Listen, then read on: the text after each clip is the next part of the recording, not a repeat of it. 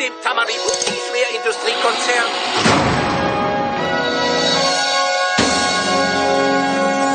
Ach, das war alles bloß Zufall. Ja, jetzt hast du deine Antwort, Fischbirne. Tja, war trotzdem ein schöner Ausflug in eine andere Welt. Kommt, Kinder. Wir gehen nach Hause. Wir sind zu Hause. Das ging aber schnell.